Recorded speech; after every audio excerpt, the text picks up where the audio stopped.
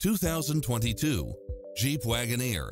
With less than 8,000 miles on the odometer, this SUV offers space as well as power and performance. You'll love this long list of impressive amenities, which include the following.